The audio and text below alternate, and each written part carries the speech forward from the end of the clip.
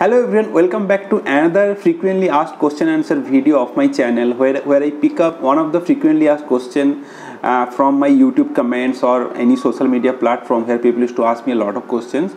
So I used to pick up one of them and try to answer them in a short video of 2-3 minutes.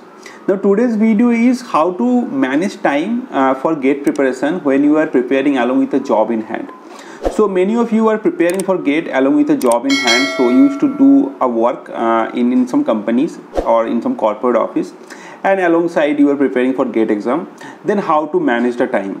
So my tips for those who are preparing along with a job uh, would be that well, first of all i want to say that you don't have that much time in hand compared to someone who is preparing fully so you your for you time management is very crucial and you have to uh, you know manage the time so that you don't waste much of time that is available in your hand. So you should follow three things. First of all you should study consistently in the week weekdays. So in the weekdays whenever you will be going to office so before going to office you should dedicate some time for your study. And after coming back from office also in the evening time you should uh, you know give some time in the study. So the consistency is uh, a key for you because if you don't study regularly in the weekdays if you only focus on the studying in the weekends then it's not going to happen. So studying in the weekdays consistently is the first thing. Second thing is obviously in the weekend you will get a lot of time uh, because those two days uh, is kind of holidays for you. So you have to utilize those two days fully you have to you know remember that you shouldn't waste much of the weekend uh, times in some other things like going to some places or you know enjoying and all. So that thing you have to you know cut from your life. So you have to dedicate your weekend fully for the preparation. So utilize it as much as possible for your preparation.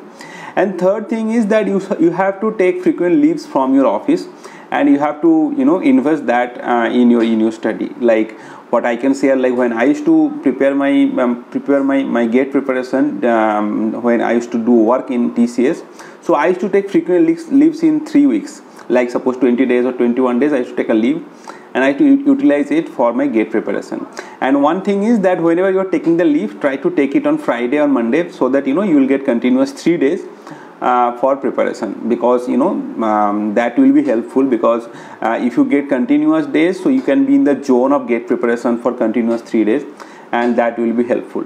So yeah these are the three things i would say uh, that you should follow uh, because for you people who are preparing for gate along with a job in hand uh, it's a tough schedule for you people because because who are preparing fully for the gate exam they have some time to relax because they have full one week uh, free uh, for the preparation. So they can adjust accordingly. But you people who who, who are working uh, so a large amount of time you are going for the office and doing the work. So that's why whatever time is remaining in the weekdays and the weekends you have to fully dedicate it for your gate preparation. Yeah so that's it guys. That's it about today's uh, faqs uh, session or frequently asked uh, question answer session. And let me know if you have any query then i'll I, maybe i'll pick it up and discuss it in another short videos in coming days. So yeah that's it about this video. Please like this video share this video to many other people and subscribe my channel if you are new to this channel and hit the bell icon so that you get all the notifications regularly. That's it about today's video. I'll be meeting in the next video. Until then bye